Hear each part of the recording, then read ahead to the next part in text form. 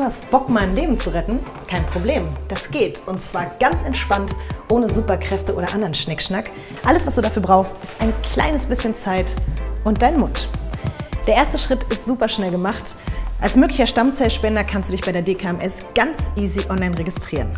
Du füllst einfach einen kurzen Fragebogen und das Bestellformular aus und keine Sorge, es gibt keine kniffligen Fragen. Du gibst einfach nur Dinge wie Größe, Alter und Gewicht an und sagst, ob du an einer chronischen Erkrankung leidest. Mit der ist eine Registrierung und somit eine Spende leider nicht möglich.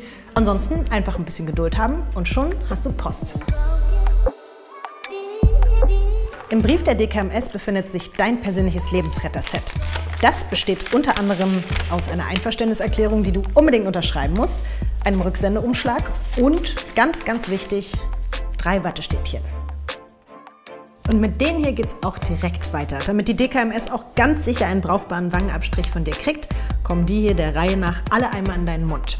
Schnapp dir also einfach das erste Stäbchen aus der Verpackung, aber unbedingt darauf achten, dass du das obere Ende dabei nicht berührst. Und los geht's. Führ das Stäbchen in deiner rechten Wangeninnenseite entlang von oben nach unten, dabei gerne auch ein bisschen rotieren. Das Ganze muss dann 60 Sekunden lang so gehen. Führ das Stäbchen auch gerne mal in den Bereich zwischen Zahnfleisch und Wange und auch gerne mit ein bisschen mehr Kraft vorgehen. Ist übrigens auch gar kein Problem, wenn du vorher was getrunken oder gegessen hast. Es geht nämlich nicht um deinen Speichel, sondern nur um das Zellmaterial. Ist die Minute rum, kannst du das Stäbchen wieder rausnehmen. Danach musst du es für mindestens fünf Minuten trocknen lassen.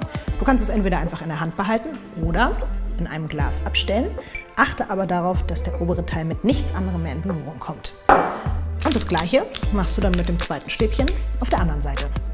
So, und nach 60 Sekunden nimmst du jetzt das dritte Stäbchen und gehst überall dahin, wo du mit den ersten beiden noch nicht warst. Zum Beispiel in den Bereich zwischen Oberlippe und Zehen. Und während du fleißig deine Zellen sammelst, kannst du auch direkt eine kleine Instagram-Story machen und schön die DKMS darin verlinken.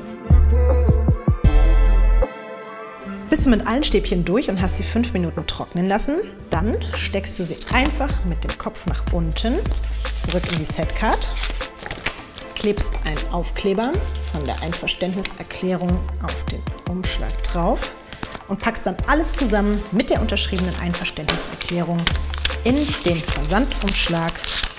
Und der geht dann ab in die Post. Ganz entspannt, oder? Und wenn du jetzt direkt Lust bekommen hast, dich zu registrieren, dann klickst du einfach hier. Und wenn du sehen willst, was nach der Registrierung passiert, dann guckst du dir das Video hier an.